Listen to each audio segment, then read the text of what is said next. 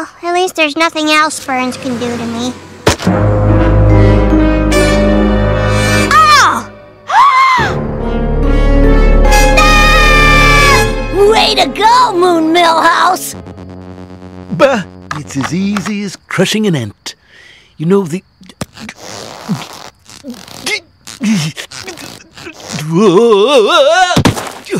Hey, take my wallet and leave me alone!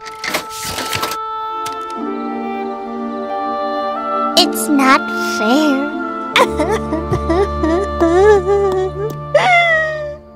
Oh, I can't stand seeing one of my children like this.